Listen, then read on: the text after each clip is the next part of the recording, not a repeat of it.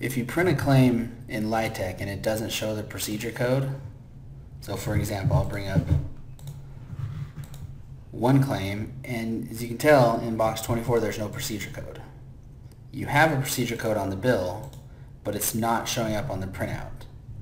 It's because you haven't set the default on the procedure. So if you hit the magnifying glass here to edit the procedure, you'll notice it's not in the defaults right here. So if you put in the procedure code, hit OK. Now because this bill was created before that change was made, it's not on this bill. So you have to put it on the billing level. So if you go to detail, more detail, the CPT code did not default here because it wasn't there when this procedure was created. So I'm just going to put it there, save my procedure.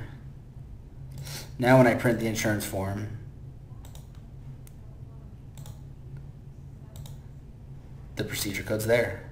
So if you forget to fill out the default, your procedure code will be empty.